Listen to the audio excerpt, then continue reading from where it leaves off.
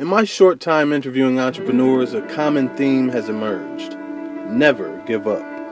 It's a given. But what if there's an it factor in the world of business ownership? Something intangible that cannot be taught? What if so many first time businesses fail simply because the owners don't have it? I recently traveled to Grosse Pointe Farm to chat with Darryl Mack, entrepreneur and franchisee of Papa Romano's and Mr. Pita in hopes of finding out exactly what it is.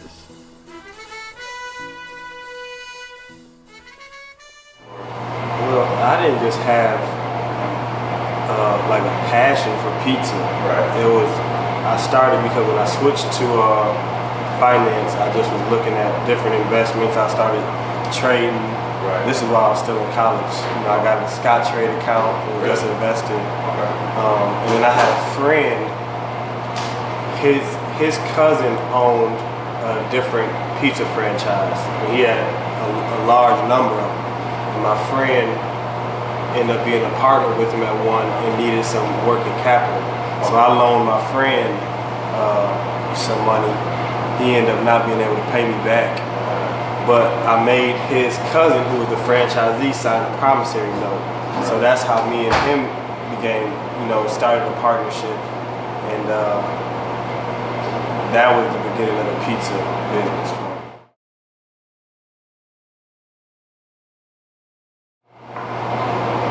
Um,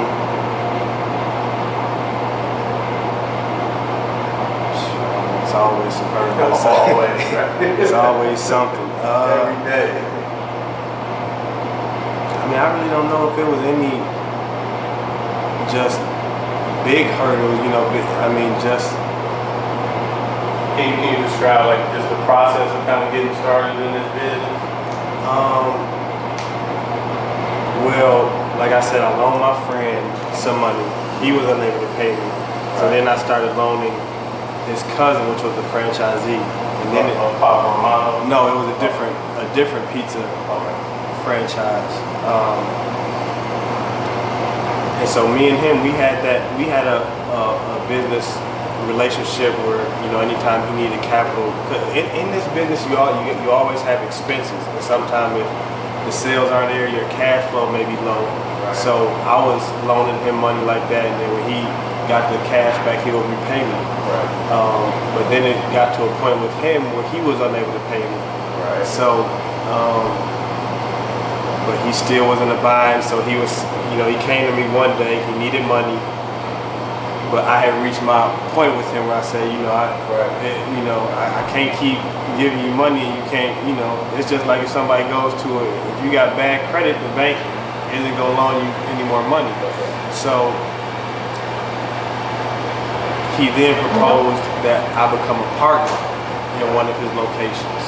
So instead of me just loaning him money, I did have equity in a certain uh, restaurant. So that was how I, I became a partner. I wasn't the franchisee.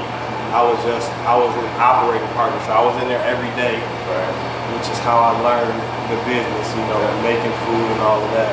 Um, that was somewhat short-lived because about 10 months after being there, that restaurant got hit by a storm. Oh wow. And so he had good insurance. so my next um, so the, the store was completely damaged because the roof got ripped off, you know, so the, it was uh, water damage. So he got a big check. You know, I received some of it because, you know, I gave him money. But he decided, yeah, he decided not to rebuild that store. Right. Um, but we still, we kept a partnership after that, you know, and he had, at that time, maybe, he had four other restaurants. So we continue with the original relationship where, you know, I'm loaning him money or helping him out in certain, um, but then we, we still kind of, I don't know, we, some people, you know, it, it just, the relationship kind of, it just went back to the same thing where I was loaning money, right. make a few payments. As needed. Yeah, yeah. So, and then I kind of stepped away from pizza until I found this. That was about seven years ago.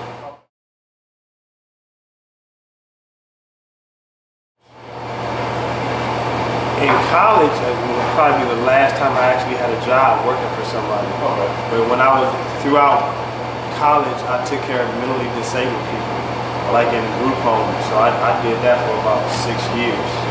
And then um, before I graduated, I was a partner in that, the last pizza place before I even graduated college. So, you know, when I finished, I was just, I just hit the ground running on my own. Yeah.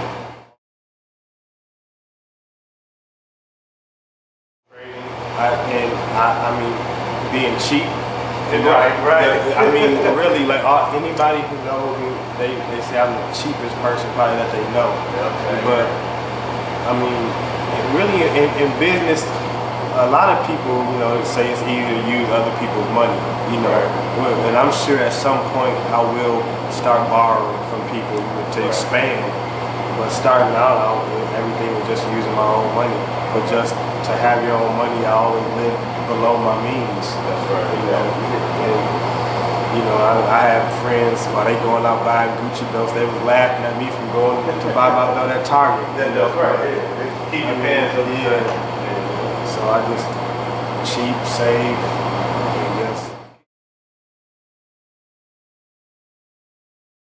don't know. I, I mean it's I mean just brief, so not going in depth. Yeah, not- not in depth, I've been sure. I've been done with that for a while, but, Okay. but I mean just I mean trading is just uh, everybody hear about the stock market, Right. You know, so trading is simply you just if it's a publicly traded company, you know they sell shares of their stock, and then to make money, somebody like me would just go and buy shares. The point is to buy low and sell high.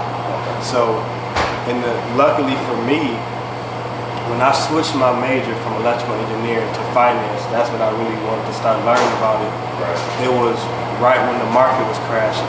Gotcha. So That's when you buy, right? yeah, Okay. so you know everybody was panicking, everything was low, but to me, I mean I didn't know what was good from what was bad. All I was seeing was, I mean there was stuff, and I was putting a lot of stuff in financials.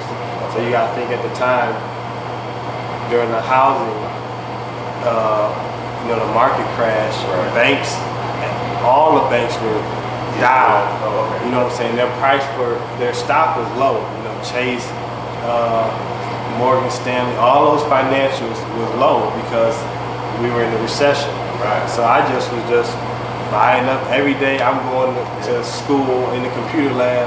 Exactly. And I'm, I'm online buying stocks. Wow. Now, and, and if you don't have to answer if you don't, if you don't know, but like, was this like student loan money or was it? And, and just saving. And say, But that that was another thing. With, I took out student loans to, Uh-huh. to get through school. Right. Right. And of course, like everybody, we take out more than we need. So I'm, you know, I'm living, but at the same time, I have a job. So my job was paying for my apartment. Yeah. But so the student refund money that I was having, instead of going to blow it like a lot of people, I'm putting it in CDs at the bank and Okay. opening up Edward Jones accounts and Scottrade. Yeah. So even though yeah, I'm getting charged a certain percentage, you know, from the student loans, you know, That's right. I'm making more than that off. And then you'll be able to pay them back. You Yeah. know, so yeah. Okay. Um, I still got student loans though. Of course. she probably died, I'm, but you know. it's like a car note when I'm paying the student loans.